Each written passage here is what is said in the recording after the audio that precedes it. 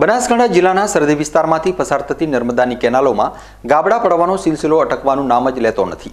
ત્યારે એકવાર ફરી સુઈગામ તાલુકાના મસાલી ગામ નજીકથી પસાર થતી નર્મદાની એક જ કેનાલમાં ત્રણ ગાબડા પડવાની ઘટના સામે આવી છે. માઇનોર કેનાલમાં પાણી અચાનક વધી જતાં આ ગાબડું પડ્યું છે. સરહદી વિસ્તારના ખેડૂતો કેનાલોમાં પડી રહેલા ગાબડાઓને લઈ ભારે રોષમાં જોવા મળી રહ્યા છે.